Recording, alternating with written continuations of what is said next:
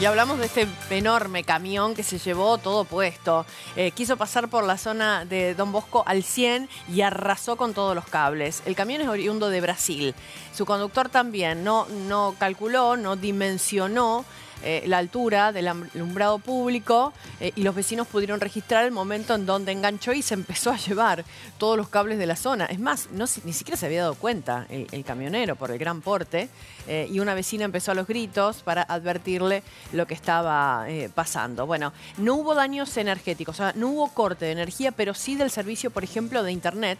y estuvimos trabajando allí en la zona porque los vecinos decían, necesitamos urgente. Muchos de nosotros trabajamos de forma remota o online en nuestros hogares y ahora nos quedamos sin poder hacerlo.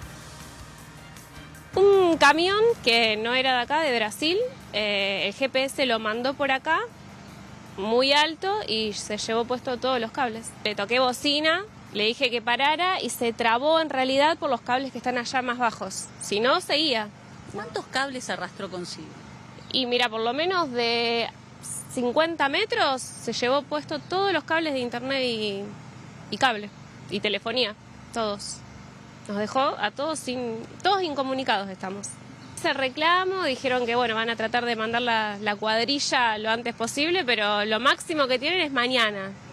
O sea que ahora mi vecina, yo trabajamos de forma remota con internet y estamos esperando, usando los datos del celu. antes del día feriado. Por eso mismo, pero bueno, mañana supuestamente la empresa va a venir.